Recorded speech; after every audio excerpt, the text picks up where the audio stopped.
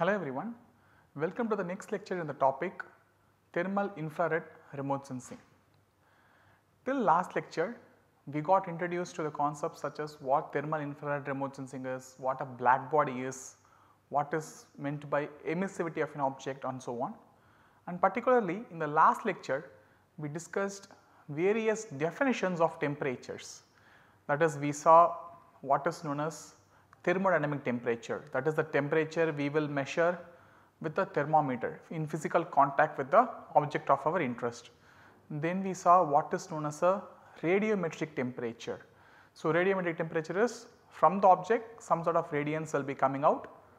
Observing that radiance and knowing the emissivity of the object, if we retrieve the temperature of object that will be known as radiometric temperature. And this thermodynamic temperature and radiometric temperature will be the same or will be equal for objects that are homogeneous and isothermal in nature. Then we also define what is known as a um, brightness temperature. So, brightness temperature means say some radiance is reaching the satellite sensor using that radiance if we substitute that radiance in the inverse Planck's function and if we calculate the temperature obtained from that particular radiance that is known as brightness temperature. So, the brightness temperature is essentially the temperature a black body will have in order to produce the same radiance that is being observed by the satellite sensor.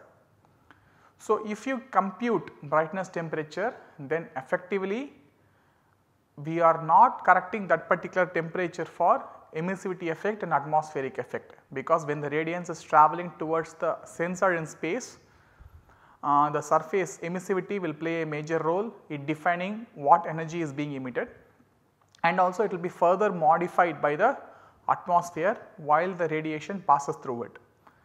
So, these two things effects or effects of these two things will be there in the radiance that is reaching the sensor. And while computing brightness temperature what we do? We simply take this radiance, substitute the value in Planck, inverse Planck's function uh, and calculate a corresponding black body temperature. That is why I said brightness temperature means you can think it of as an uncorrected temperature or temperature that is not being corrected for surface emissivity and atmospheric effects. So, today we are going to look at the concept or discuss the complex nature of TIR observations. TIR stands for thermal infrared. So, what is the complex nature of TIR observations? So, let us take one particular land area, a sensor is looking over it. Most naturally, a sensor will not look only at one particular object. Say we all know that whenever a sensor is seeing a ground, it will have like a small area defined on the ground, right. We call it as the GIFOV, the ground projected instantaneous field of view. The uh, aerial uh, extent which is seen by the sensor in one go or in a given instant of time. Within the GIFOV, there can be more than one surface feature present. There can be a cropland, there can be trees, there can be buildings, water bodies and so on. So, all these things will have their own temperature, maybe a water body may be a little cooler, a building may be warmer and so on. So, each object within that will have its own temperature. Similarly, each object will have its own thermal emissivity. So, these two things combined together will impact or will affect the total radiance that is reaching the sensor. So, the final temperature or the final radiance that is going to reach the sensor is effectively the average of all these things. Average means uh, let us like take an example. Let us say we have one GIFOV here. So, this is one GIFOV. So, there can be many different objects present. Each object will have its own emissivity, will have its own temperature. So, be, because of its temperature and emissivity all will have its own radiance that is say this is object A, the radiance L from object A is given by emissivity times the Planck's function of that particular temperature. So, here uh, Ta I will write ok. So, this is object A I write it as Ta. So, what is Planck's function? Sorry this is multiplication 2 hc square by lambda power 5 1 by exponential of hc by lambda kt minus 1. So, this will be the radiance from one particular object say object A. Similarly, there will be there can be n objects within a given GFOV or within a single solid angle subtended by the sensor. Like a sensor sees one particular solid angle covering a small ground area. There can be n different surface elements there each having its own radiance uh, with uh, that can be computed using emissivity and Planck's function and each have its own small aerial extent fraction right. Say a building might have occupied uh, 2 percent of the GFOV, a water body might have occupied 15 percent of the GFOV and so on. So, based on how much area they are covering within that single uh, look of the satellite, all the radiance will be averaged together and the sensor will see a averaged radiance of all these features. So, within the GFOV the sensor is not going to see any one particular object, it is going to see the radiance that is resulting due to the presence of many different features. Each object will have its own radiance, everything will be kind of averaging themselves to record to get recorded in a sensor. Now as a user what we will do? As a user this radiance will be converted into dn stored in the satellite image. We will get the dn, convert it into radiance Using that radiance we will calculate the temperature of the object again. I will explain how to calculate temperature of object some simple steps in the coming slides. But let us assume from this radiance we are calculating the temperature. So, now essentially what we have? We have this T rad calculated from satellite. As a user this is what we will have in our hand. At the time of image acquisition there were like many different objects each having its own uh, physical temperature T1, T2, Ta and so on. So, these three things will be everything will be different. Uh, they may be very very different or they may be like varying a little, but in essence the temperature of each and every object will be different from what is seen by the satellite. And this satellite based temperature since it is coming from several objects strictly speaking we call it as ensemble directional radiometric surface temperature. So, just imagine this radiometric surface temperature is we know the simple temperature we calculate from satellite. What is this ensemble and directional? An ensemble is the radiance recorded by the satellite and the temperature calculated out of that particular radiance is not due to any one particular feature on the ground, it is going to be a mixture or it is going to be like an average radiance of all the features contained within this GFOV and the temperature computed out of that particular radiance will be actually different from uh, what to say each and every individual objects basically that is why we call it as an ensemble it is a mixture of several things and it is also directional directional means the sensor might be looking the ground like this like at nadir. Sim sometimes the sensor may be looking something like this away from the nadir and so on. And we already have seen to a sufficient extent that objects will have different different reflectances when we look from different direction. Same way emissivity also will differ when we look from different direction because reflectance is equal to 1 minus emissivity. We know reflectance differs in different directions. Same concept will apply to emissivity also. So, objects will emit differently in different different directions. So, the radiance say if a sensor sees a land patch from this particular direction and another sensor see the same land patch but in this particular direction the land patch essentially is one and the same, but the temperature or the radiometric temperature recorded by these two sensors is going to be different because of the variation in look angle, variation emissivity effect and so on. That is why strictly speaking the surface temperature that we calculate from satellites should be known as an ensemble, directional, radiometric surface temperature. This is one thing. And one more important fact that I should emphasize is, let us look at this particular slide. For an ensemble of black bodies at different temperature, there is not an equivalent black body with a given temperature yielding the same radiance at all wavelengths. So, this may look confusing in the first go, but if you try to understand the particular meaning of this, what does it mean? Uh, let us say um, we have like for sake of simplicity let us assume we have two black bodies uh, within a one particular JFOV for very simple sake I am telling. A given area is occupied only with black bodies that too only two black bodies or let us even start with just one black body for example. Say one big area has only one black body a satellite temperature or satellite is observing it. We go and measure the physical temperature using a thermometer. Satellite measured the radiance out of a black body. Using the radiance we can calculate the temperature back. They will match because it is a homogeneous pixel, it is a black body everything will match. Let us say now two black bodies are present and two black bodies are at different different temperatures. Uh, due to the variation in temperature what will happen say black body A will emit differently let us say black body A has higher temperature.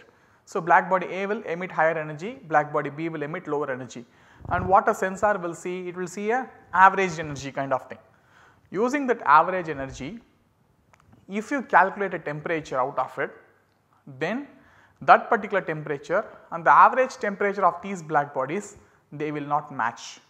That is what the sentence suggests. This sentence says for a ensemble or for a mixture of black bodies at different temperature, it is almost impossible to have an equivalent black body at any given temperature T to produce the same radiance that is two black bodies are there their average radiance will be something it will be impossible for you to find another black body which will yield the same radiance at some temperature at all wavelengths.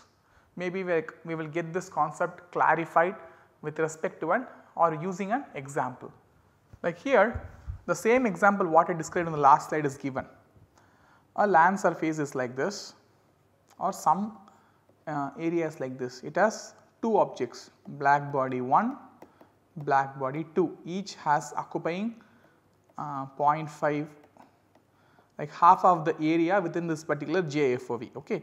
So, black body 1 is at temperature of 293 Kelvin, black body 2 is at a temperature of 323 Kelvin. Let us say some thermal sensor is observing this.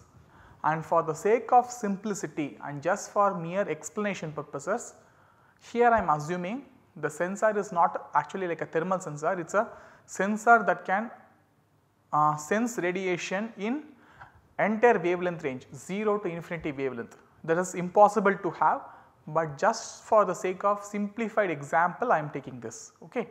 That is uh, the black bodies will emit radiation in many different wavelengths it will emit we all know that. So, what I am doing I am like creating a hypothetical sensor which will observe in all wavelengths from 0 to infinity as extremely broadband sensor okay that is now observing this particular uh, what to say particular features of or the two objects the JFOV composed of two objects. Now let us see what happens basically. Now in this case what will be the average physical temperature of this particular JFOV? Half of the area is occupied by a black body at 293 Kelvin, half of the area is occupied by another black body at 323 Kelvin. So the average temperature like the true physical temperature of this particular entire area will be uh, half of or average of 293 and 323 which gives you 308 Kelvin. So, if we physically take a thermometer measure at many different points within this area and calculate an average out of it most likely we will end up with this value 308 Kelvin. So, this is the average physical temperature. Now let us compute this using remote sensing principles. As I told you for the sake of explanation I am going to observe this area using an extreme broadband sensor which can observe in wavelengths of 0 to infinity. So we all know that Planck's function Essentially we will use Planck's function for calculating radiance. When we integrate Planck's function to 0 to infinity what we will get? We will get the Stefan Boltzmann law like in initial classes I have told you right. So, Stefan Boltzmann law are now just because I have defined an extremely broadband sensor for this example I am using Stefan Boltzmann law. Stefan Boltzmann law is very easy to compute and show on screen rather than computing all the steps of Planck's law. Planck's function is little mathematically has more steps to solve. Just for saving time I am using uh, Stefan Boltzmann law here, but this is not true for always just for explanation sake I am doing it. So, sigma t power 4 is the Stefan Boltzmann law. So, there is 2 black bodies. So, sigma t1 power 4 plus sigma t2 power 4 by 2. So, if you take the radiance emitted by an object will be 517.517 watt per meter square. So, this is the radiant flux density.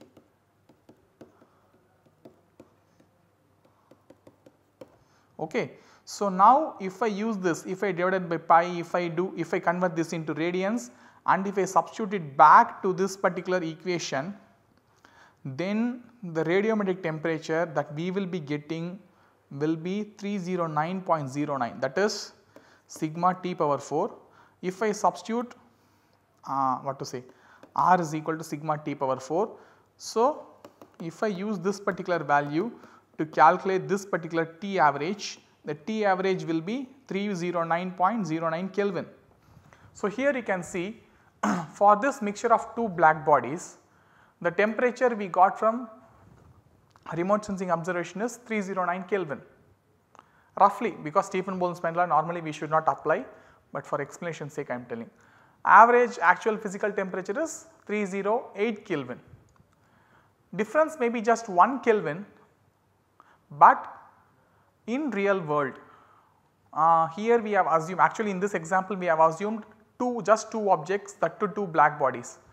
In real world a single GIFOV will have n number of features that can be 10, 15, 20 different features each having own temperature and own emissivity everything will be averaged together to produce one single temperature value and the single temperature value that we are observing from satellite will be different from temperature of these individual objects. What we will be getting from satellite will be a kind of a mixture that is why we call it as an ensemble directional temperature. It will be like a mixed signals coming out from all the different objects.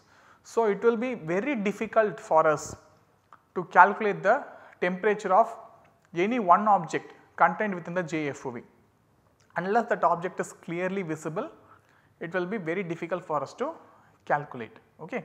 So, that is the concept. So, the normal or the thermal infrared measurements that we make from satellites are indeed complex measurement, complex in the sense like it has a mixture of signals emanating from various objects which, which will prevent us from calculating the temperature of each and every individual object. The final temperature that we are sensing will be complete can be different not completely but they, it will be different to some extent from the temperature of the different objects contained within this particular GIFOV when the satellite observation was made. Now slowly we will move on to uh, further concepts of land surface temperature, how to retrieve it and all. Before that we will see one example of how a land surface temperature image will look that is given in this particular slide. So, here we have an LST image, uh, LST is land surface temperature or otherwise known as surface radiometric temperature that is like the technical term radiometric temperature. So, this shows the temperature map of a small portion on South India. So, this is like the Kabini reservoir, this is the Kabini river and also this is like Kaveri river going like this. So, what essentially it shows then this is like uh, mountain show, this is like Karnataka, Kerala, this is Karnataka portion, this is Tamil Nadu, this is Kerala. So, a mixture of 3 states, this is like the Western Ghats mountain and so on. What it generally shows, look at the color bar, the dark brown color here indicates temperature around like 280 Kelvin, yellowish color, lighter colors, brighter colors indicate higher temperature. Here for this map it is 327 Kelvin. So, this tells us if you look at this area we can clearly sense it is a river. It is actually Kabini river that is flowing and using the water people do lot of irrigated agriculture near its banks. So, these portions near the river channel are actually water bodies or crop plants that are like irrigated using the water from this river and hence they are at a lower temperature. Similarly, look at this mountain portions again the elevation is high these portion western ghats contain lot of trees vegetation and so on their temperature is again lower. Look at the central patch these are mostly agriculture dominated areas, but at the time of this image acquisition they were like more or less bare or fallow in age, fallow land and hence not much of vegetation is present that is why they have a higher temperature. So, what this generally means if the surface is bare, dry without moisture and so on the temperature will be higher for it. On the other hand like here I am meaning the radiometric temperature what we are sensing it. On the other hand if you observe the LST over well vegetated areas or over water occupied areas naturally the temperature of it will be lower. So, using this temperature we will be able to understand the energy processes occurring at the surface we call it as the surface energy balance equation which tells us how the energy coming in at the land gets divided into different different components. Using that we will be able to calculate uh, how much water is lost to the atmosphere through the process of evapotranspiration. We can estimate soil moisture, we can estimate vegetation health, lot of different applications are there. Maybe few applications we will uh, get introduced to towards the end of this course. But the general um, application of this radiometric temperature is it will help us to understand what are the different energy processes occurring at the earth surface. Just uh, 2 slides before I explained you the concept of um, ensemble directional radiometric temperature. Now we call a pixel if a pixel or if a JFOV of a satellite sensor has more than one object present within it we call it as a mixed pixel that is that particular pixel is having more than one feature. For such mixed pixels how to define this radiometric temperature or for practical purposes if we want to define and use radiometric temperature for such pixels how to do this we will quickly see this in the coming slides.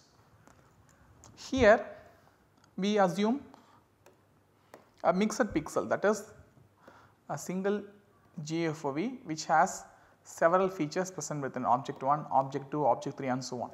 It has n homogeneous element, each element is homogeneous for simplicity sake I am assuming say this is like let us say this is a water body that particular water body is at a uniform temperature throughout. Okay. So, similarly there are like n different elements and all of them are homogeneous individually at a different different temperatures.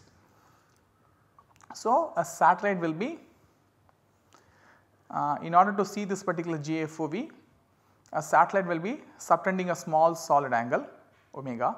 Within this particular solid angle this GIFOV will be defined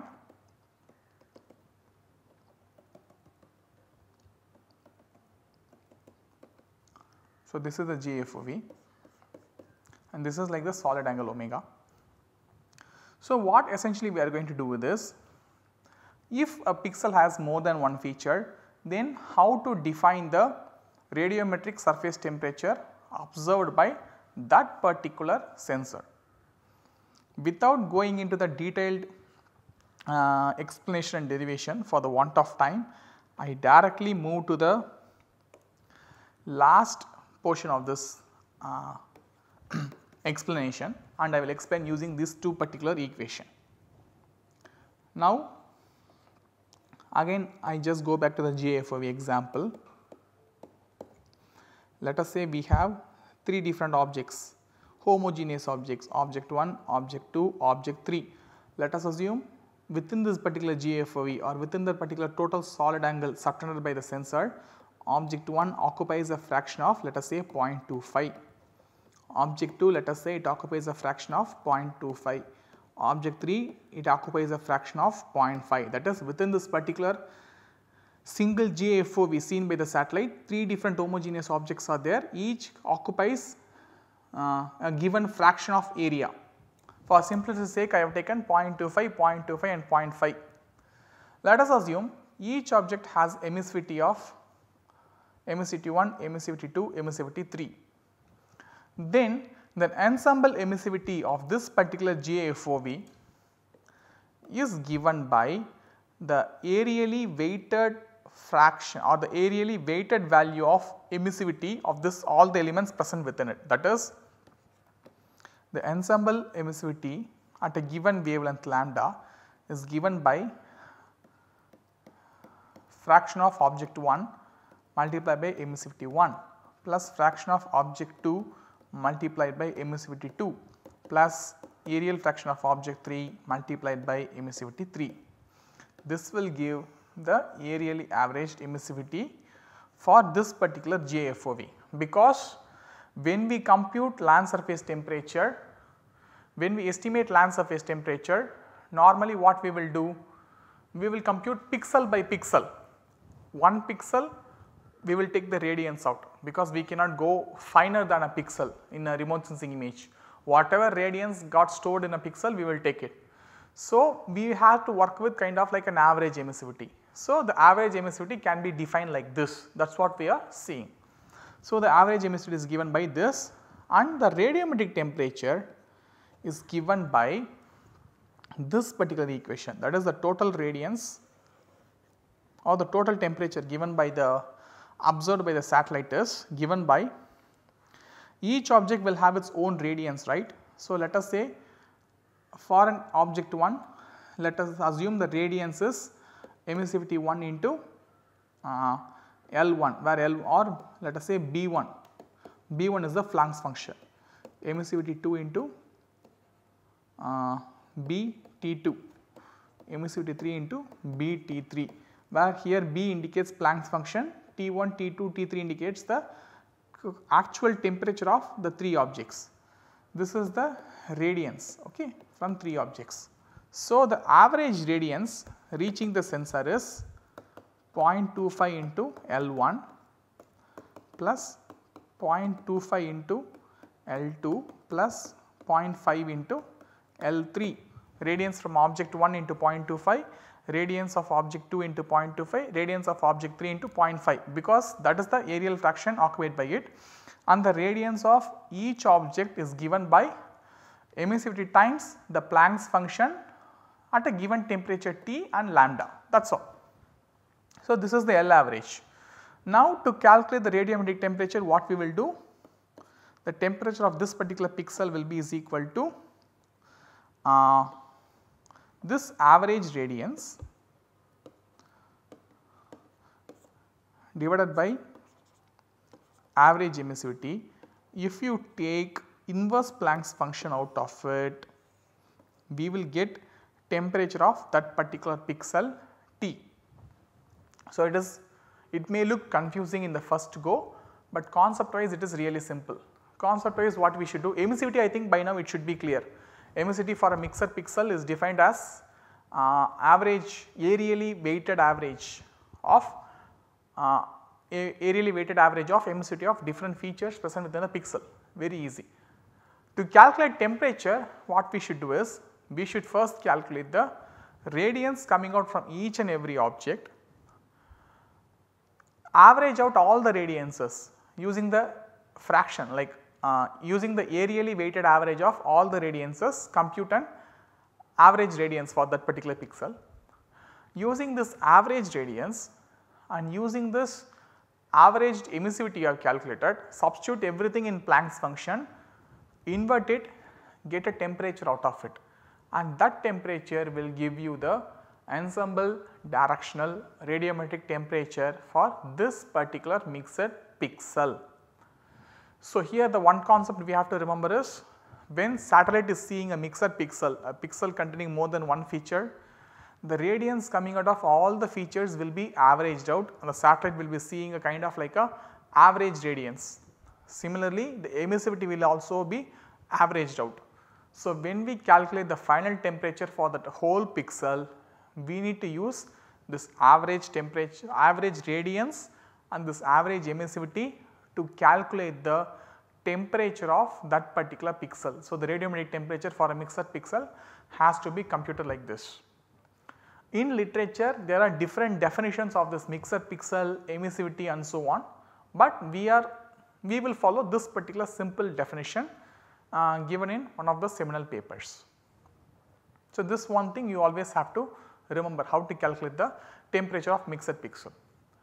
Normally what we tend to do is if a uh, object has let us say let us take the same example 3 features, it is very natural for us to think okay this is object 1 having certain radiance let me calculate uh, radiometric temperature T1. Here there is object 2 let me calculate radiometric temperature T2 and so on. Cal find out the temperature of this average it out that is let us say let us go back to the same example. This is a T1, this is a T2, this is a T3 emissivity 1, emissivity 2, emissivity 3. It is very easy for us to compute the radiometric temperature of this particular pixel uh, using inverse Planck's function that is I am computing temperature for each and every element and if I average them out. So, this average will be different from what we compute using this particular formula that is temperature in the TIR domain is not linearly averageable you cannot linearly average surface temperature. If you have more than one feature present within a pixel or if you want to upscale your image. Okay. So, uh, if at all you want to average out temperatures say 10 different objects are there in a given area, if you want to calculate the average temperature of that whole area means you cannot average the temperature of all these 10 objects. What the satellite effectively sees will be different from this particular average. In order to properly compute this you have to follow a very long procedure. Calculate the average emissivity, calculate the average radiance, use that in Planck's function and invert it. Okay. So, the real application may be there in one example which I will show in the next slide. Here in this particular example I am giving you one problem. How to spatially upscale or average TIR data. That is let us say you have one satellite image at 100 meter by 100 meter resolution.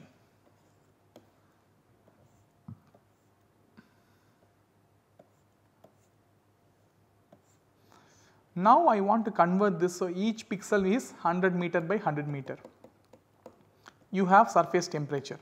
Now I have to compute or make this data to 500 meter by 500 meter. For my application I need data at 500 meter by 500 meter. How to do this? it is very natural for us to think okay so within a 500 meter by 500 meter pixel there will be 25 100 by 100 meter pixels. It is so just average the temperature value recorded in each of this 25 pixel that is it very simple right that is what we normally think. But we should not do that we should not just take the temperature and average them out it may give us a wrong result. Technically what we should do is from the temperature or from the original dn recorded in the pixel we have to calculate the radiance of each pixel. Similarly, we have to calculate the emissivity of each pixel. Average the emissivity out in order to get an average emissivity for all the 25 pixels. Average the radiance of all these 25 pixels. Using this average radiance and using this average emissivity substitute this in inverse Planck's function that is